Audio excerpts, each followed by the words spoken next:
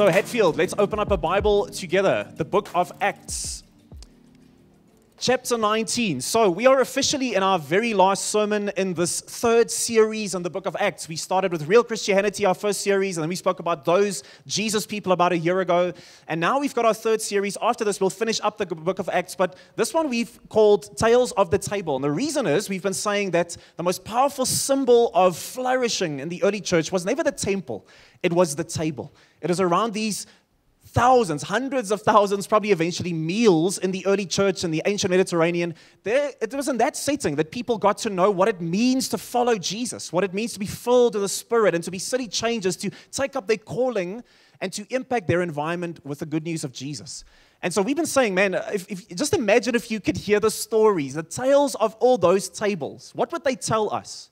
That's what we have in the book of Acts. And now he's saying, but guess what? We have the same Holy Spirit within us. We have the same love of the Father surrounding us. We have the same good news gospel of Jesus in our hearts. And so, if we were to take that seriously, imagine what the tables of our offices and communes and homes, what would they begin to tell as we take up this calling? So, we're finishing up today. And last week we spoke about the missional professionals. We asked the question, What is your profession, Dr. Oh, Hatfield? And, and some people told me, Man, they were pumped up last week about being a programmer or plumber or pediatrician for Jesus. But I think it left us with the why question How will I do this? And it's so beautiful how this final passage in our series transitions to this so powerfully. So, Acts 19, verse 1. I'm just going to speak to the part where it says, Paul, he traveled through the interior regions and came to Ephesus he found some disciples, so followers of Jesus, and he asked them, Did you receive the Holy Spirit when you believed? No, they told him, we, we haven't even heard that there is a Holy Spirit. So, into what then were you baptized? He asked them. Into John's baptism. We read about that at the beginning of the Gospels. John the baptizer making the way straight, preparing the Jewish people specifically for the coming of Jesus the Messiah. Well, Paul said, Well, John, he baptized with the baptism of repentance, telling the people that they should believe in the one who would come after him, that is Jesus. And when they heard this, they were baptized, submerged in water, in the name of the Lord Jesus. And then, when Paul had laid his hands on them, the Holy Spirit came on them, and they began to speak in tongues and to prophesy. So that's probably the shortest scripture we've had in this whole series.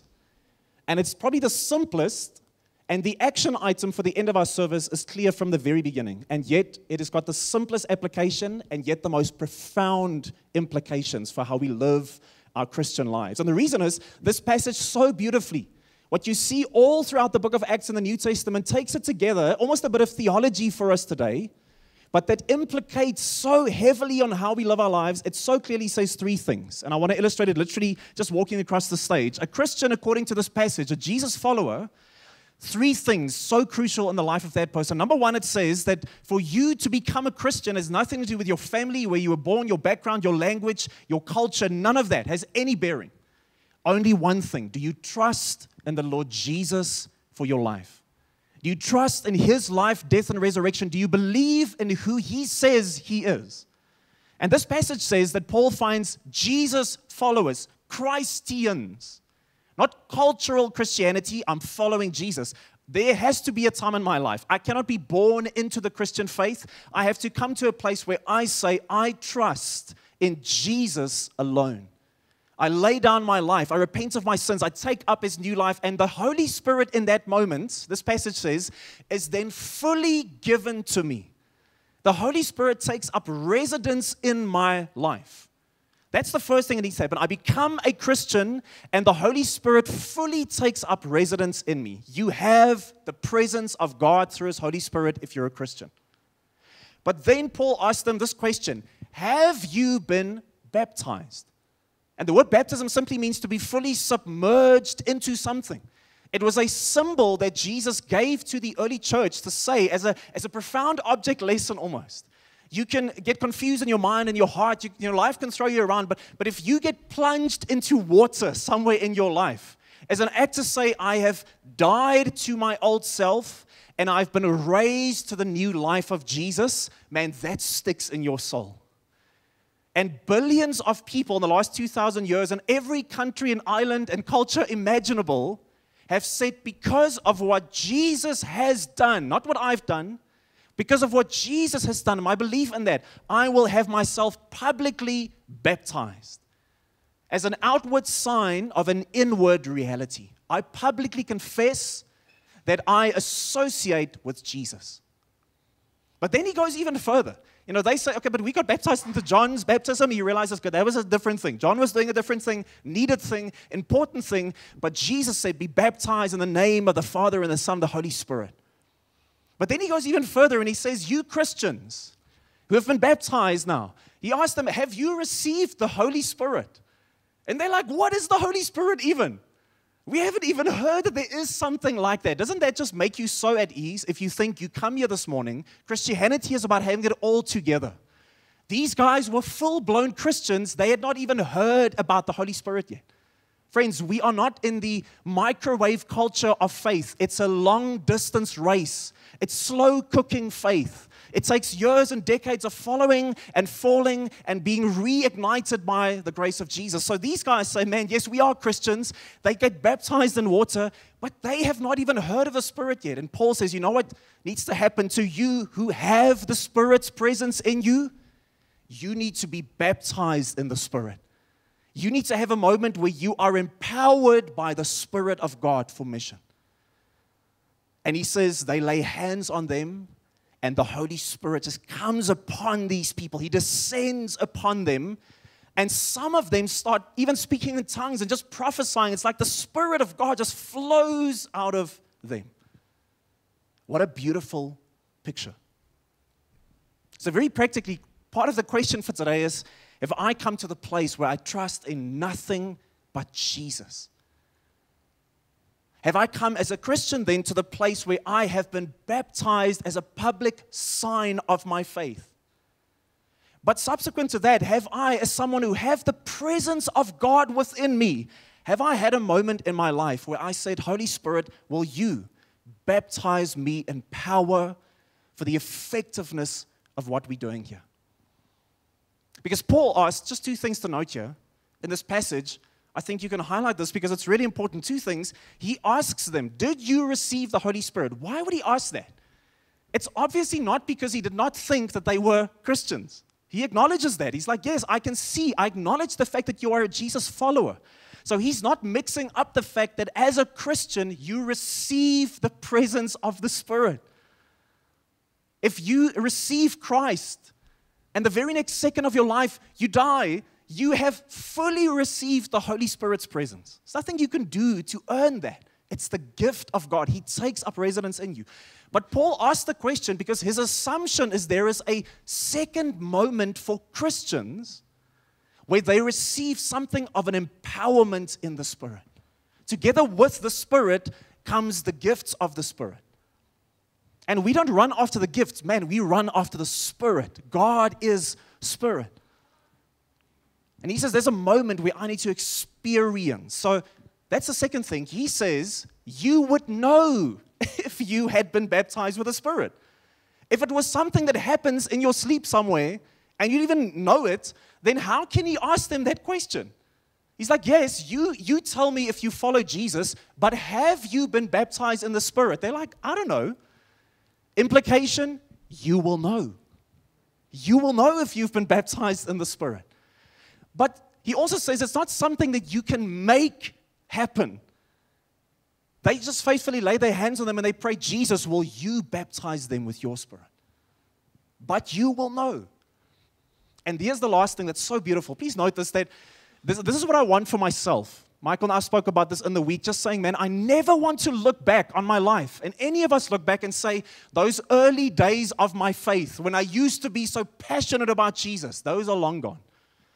I want to, like some of my faith heroes in their 70s, 80s, and 90s, still be running even harder after Jesus than in their 20s and 30s. And what I see is the attitude that leads to that. In this group, when Paul says, Has this happened to you? And they say, Man, I'm going to be honest, I don't even know what this Holy Spirit thing is. What is the very next thing that they say? What's the posture they take? But I'm open and I'm eager to receive. I'm open and I'm eager to learn. I've not grown past the basics of the faith. I'm always digging deeper into the basics of the faith. So if you say, man, God has more for me, I'm humble enough to say, I'm open to that. Whatever He has for me, I'm open. If it embarrasses me in front of people, who cares? If it makes me look foolish, who cares? If I'm 75 and I'm still wrestling through the basics, who cares? I want what He has. And they say, Paul says, Are you open to this? And what I see in them is the posture to say, Yes. And they receive this baptism of the Holy Spirit. When Paul had laid his hands on them, the Holy Spirit came on them and they began to speak in tongues and to prophesy. Maybe to help with this distinction, because there is some argy bargy in the church about this. Some people don't agree with this doctrine. And they would say, no, we, we all have the Spirit. There's no need for any of this other stuff. It's all done and dusted when you become a Christian. I like this idea. Michael Eaton, he's a theologian, and he says the difference between becoming a Christian and fully having the presence of the Spirit in you and a subsequent moment, that can be days later, months later, years later, even, where you are baptized in the Spirit for power and effectiveness. He says it's like the difference between an airplane that you are in. And he says when you cross in an airplane the boundary of one country to the next, you don't really notice that in the plane, do you? It's not like a bump that you're like, whoops, there we just went over. But yet, if you land, you realize we definitely went from one country to the next. There's no doubt about that. But you don't notice it like that. But he says the difference. So, so becoming a Christian is not something you're like, and there I've just been saved. Wow, that was powerful. It's like I just experienced being taken out of the kingdom of darkness and placed. I just got adopted, renewed, restored, raised a new life. I felt the jolt. Doesn't happen necessarily like that. Some people genuinely say, I've been Christian since I can remember. Some people say, I had a powerful moment, just broken in tears, giving myself up to God but you don't necessarily feel that, and yet it's as concrete as going from one country to the next. But Michael Eaton says, but to be baptized in the Spirit is like when the plane lands. You will know. You will know. Sometimes, depending on the pilot, you will really know once you've landed. Where's Michaela Maiswinkle this morning? Pilot jokes. That's the difference. This one is as concrete, but you don't necessarily take note of it. This one is also as concrete, but you will know. That's why Paul says, Has this happened to you? Last week we said this that we are missional professionals. You are a painter, plumber, pediatrician, programmer, but you're a Christian first. And we're saying, man, that the church, Monday to Saturday, that is where the Priscilla and Aquila's we said last week, that was the change in the church. Not primarily the Pauls, and the question should be how can we do that? I feel so ill equipped. Joe, you pumped me up last week, and I stepped into Monday immediately feeling ill equipped. Welcome to Christianity. And how then does that happen? Can I tell you this? You cannot be a programmer, pediatrician, or plumber without the presence and the power of the Holy Spirit. You cannot be a neighbor, colleague, friend, or family member for Jesus, without the presence and the power of the Holy Spirit, it's impossible. Paul's not like, hey, you guys Christian, nice, let's move on. He's like, no, have you been baptized? Have you had this tangible moment of identifying with Jesus? Have you received the baptism empowerment of the Spirit? So you cannot, even the kids are excited about that. You cannot be the city changer God has called you to be without the empowering of the Holy Spirit. Romans 8 5 says that Christians are people who live according to the Spirit. That's who we are. That's why Jesus says, John 14 6, man, I will ask the Father as I return. The earthly Jesus incarnate returns to the Father at the end of his ministry. And he says, I will give you another counselor to be with you forever. You will not do this alone. I take up residence with my presence within you, and I will empower you for what I call you to do. Whether parenting, whether business owning, whether sharing the gospel, living out the character of God, you cannot do this without the Holy Spirit. So, illustration 10th of May last year, 2022. Anyone's birthday, by the way, 10th of May? Taking a chance. Passenger, Darren Harrison. This man is a business owner who goes to play some golf in the Bahamas, and he's in a little plane with a couple of other you know, guests of his on this trip, and suddenly the worst thing possible can happen. The pilot, in a couple of seconds, tells him, Listen, I'm not feeling that well. And then he just slumps in his seat. And in the couple of seconds, I'm sure after praying a very short prayer to Jesus, this Daryl just jumps over two seats. He pushes the pilot out of the way, and having zero experience, of course, flying a plane, he grabs hold of the controls.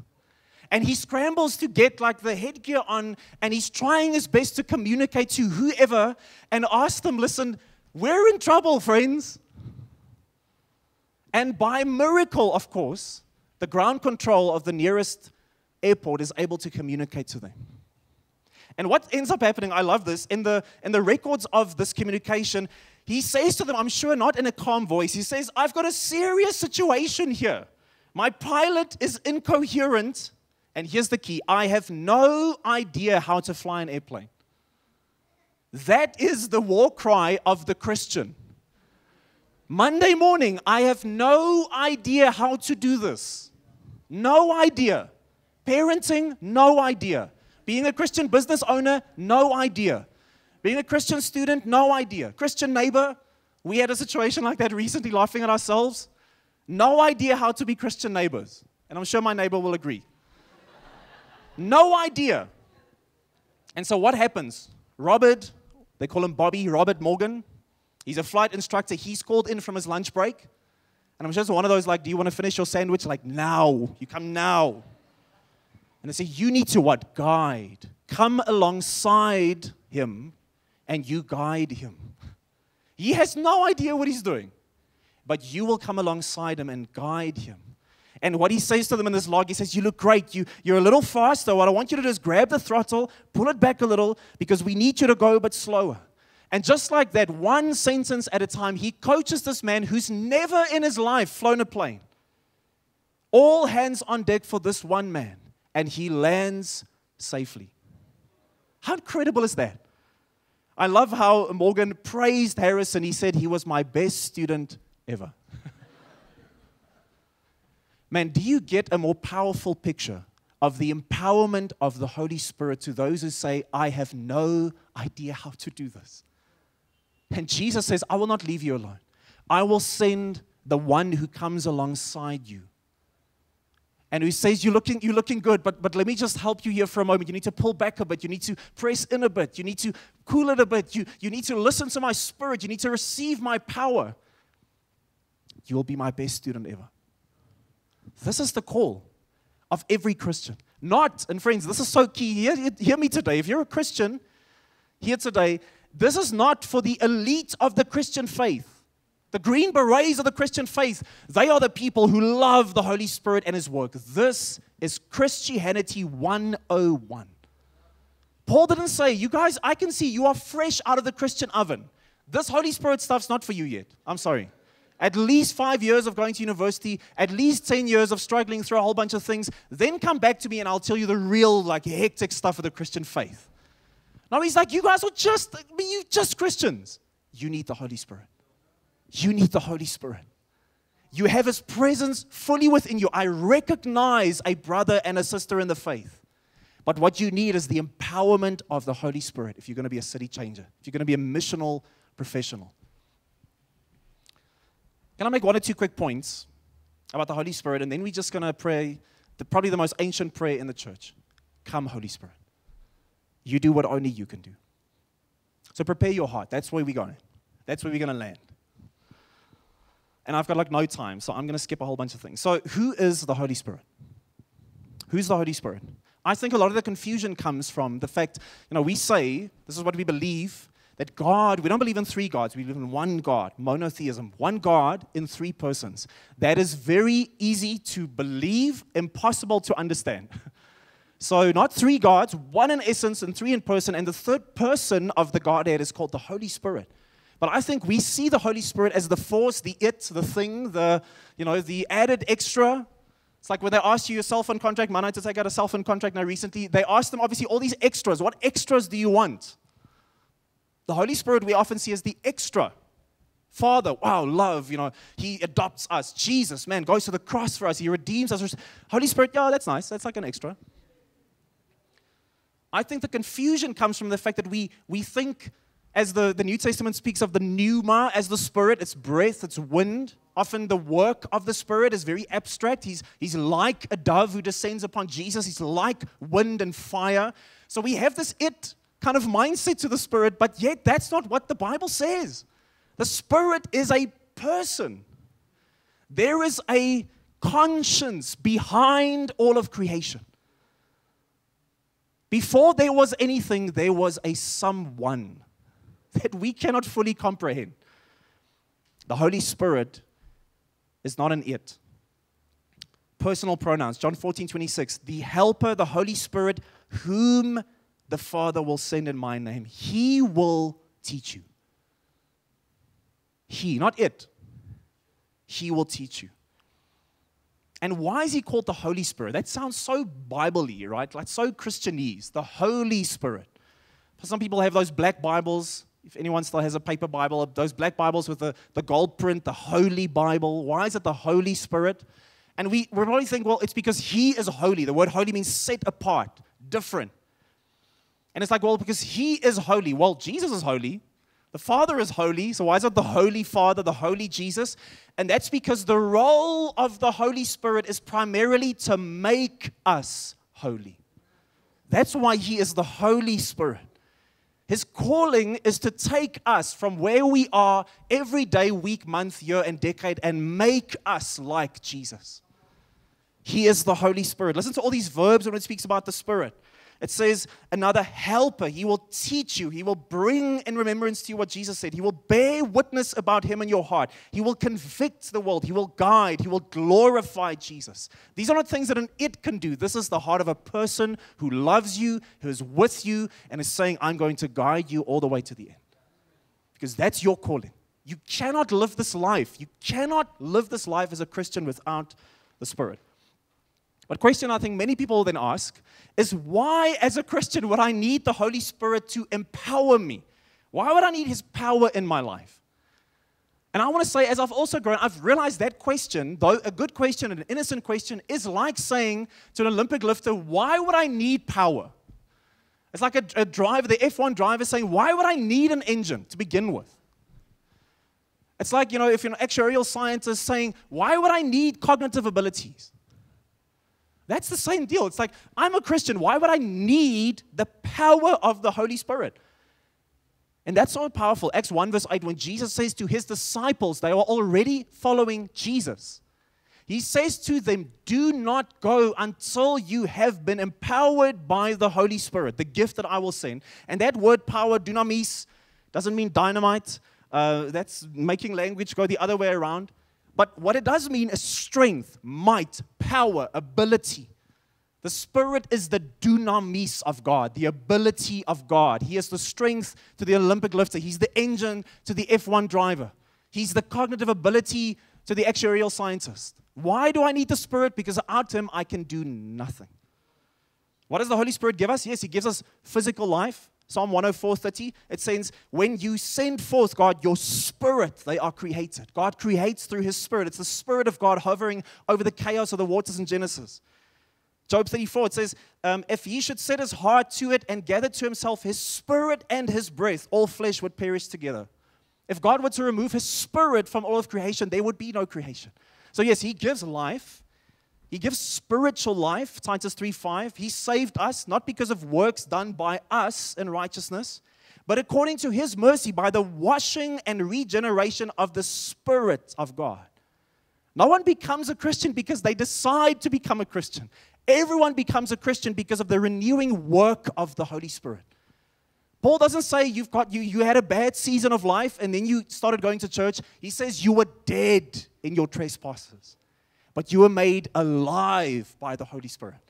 So, yes, He gives natural life, He gives spiritual life, but here's the key He gives power. He gives dunamis for service. I can say, Yes, Jesus, I believe in you, but to follow you, I need the Spirit. And guess what? We cannot just profess Christian faith, I need to live Christian faith. Anyone can say I'm a Christian, But to follow Jesus, I need his spirit. So he gives power. Even in the Old Testament, Joshua had wisdom and leadership skill. Deuteronomy 34 9 says about him Joshua, the son of Nun, he was full of the Spirit. For Moses had laid hands on him. It's the only way he could do what he did. And then, of course, the best example is Jesus. Everything about Jesus, in his human nature, he says, I am leaning on the Spirit of my Father. Everything I do. He starts his ministry at the age of 33 by saying, I am baptized as an example to those who come after me. But it says in that moment, the Spirit descends upon him, and there is this empowerment for Jesus. Everything he does, go and read the Gospels. You never see Jesus and his work without the Spirit empowering him. Okay, lastly, then, so how does the Holy Spirit give us this power? Let me read to you Acts 1, verse 4 to 8. Jesus says he ordered them not to depart from Jerusalem before he's about to leave them with his great commission. He says, But wait for the promise of my Father. It's a promise, which he said, You have heard from me. John baptized with water, yes, but you will be baptized with the Holy Spirit. Just think about that picture submerged in water. Here we have uh, soon to be full again, our little baptismal pool. It's been such a blessing these first three and a half years of Hatfield to see people submerged fully in the water of baptism, saying, Yes, Jesus is my Lord and Savior. Imagine the same word to be fully submerged in the power of the Holy Spirit. Man, what you need as a parent is to be fully submerged in the power of the Holy Spirit. For you to run your business with skill, with excellence, with the character of God, you need to be fully submerged in the power of the Holy Spirit. So he says, Yes, John baptized with water, but you will be baptized with the Holy Spirit not many days from now. And verse 8 says, And when you receive, there's that posture again. Not when you make it happen, not when you shout loud enough, not when the music is so nice in the background that then the Holy Spirit works. No, he says, when you receive, and when the Holy Spirit has come upon you, you will be my witnesses. Those who follow Jesus become witnesses when they receive the power of the Holy Spirit. So, question Aren't we just all baptized by the Spirit at salvation? Why do we do all this extra stuff? My uncle, who's a Christian, tells me that's nonsense. That's charismania. We all have the Spirit. Why do you need anything else? And I want to say that, yes, some people would argue that we, we receive the baptism, the salvation, filling, all of it happens in once. But I want to say, as, as Doxa Deo, our belief is that these are three separate moments of faith, all by God's power and initiative, not something we can do. But here you see it, the disciples, those who already followed Jesus in John 13 and 15, Jesus says, You are already clean. And yet to them, he says, Acts 1, verse 8, wait until you are filled, baptized by the Holy Spirit. That to me seems like two separate things. Paul, who is saved in Acts 9, he calls Jesus Lord. So he is following, believing in Jesus. Yet, when Jesus sends another disciple to go and pray for Paul, he says, and laying his hands on Paul, he said, Brother Saul, the Lord Jesus, whom appeared to you on the road by which you came, has sent me so that you may regain your sight and be filled with the Holy Spirit. That to me sounds like a separate moment. Or the Samaritans, beautiful moment.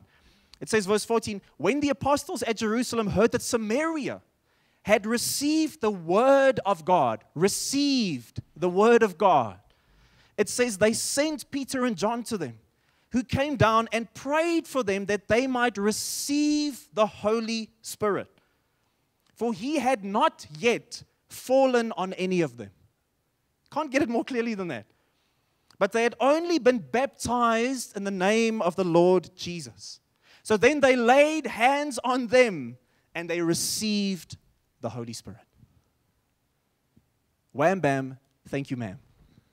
That's as clear as it gets. I don't want to pick a fight. I'm just saying this is what we believe as. Dale. I profess my faith in Jesus alone through grace. I'm saved. I'm made new. I make a profession, public profession of faith through being baptized. We call it the baptism of the believer. That's why we don't baptize infants. It's a profession of my faith. And then I say, Jesus, I'm trusting that you would come and baptize me in your spirit. Give me your gifts, give me your boldness, give me your power, give me your anointing. With the Spirit comes everything that is needed for the life in the Spirit. So I want to say, last maybe question is um, do I have to then? I see in this passage some really out there things like people started speaking in tongues and prophesying. Is that like the sign? Unless you speak in tongues, you have not received the baptism of the Holy Spirit. And I think for me, the honest answer is no. Again, I do know there are brothers and sisters of our faith that would disagree with me, some Pentecostal brothers. Uh, they would preach much more sweetly and loudly than I would in any way, but they would say, friends, no, you need to speak in tongues. Otherwise, you haven't received the Spirit. But what I see is all throughout the book of Acts, for instance, uh, you know, you do see tongues characterizing that moment at Pentecost, Acts 2. You do see Cornelius, he's baptized with the Spirit, he speaks in tongues. You do see the, the people at Ephesus here that we just spoke about, Acts 19.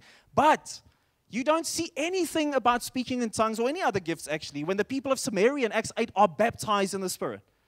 Or when Paul receives the Spirit, and on and on it goes. You see in the New Testament, in the book of Acts, moments where people are baptized with the Spirit, and God chooses to give them certain gifts, and other times where it doesn't happen. It is not a stamp of approval that you have received the baptism of the Spirit. You will know that the plane has landed. But what that looks like can be very different for many different people. I know good friends who said, Man, I had I was a Christian, and for months, maybe even years, I, I know that I'd never been baptized in the Spirit yet. But that moment, people laid hands on me, they prayed, and I just had the clearest call over my life in that moment. Or I had the deepest experience of the love of the Father covering my brokenness. Or I suddenly just realized I received in faith a gift that is, that is well beyond anything I understood before. I suddenly had this unction to pray for people to be healed. There are so many things that can happen, but the plane will land and you will know it.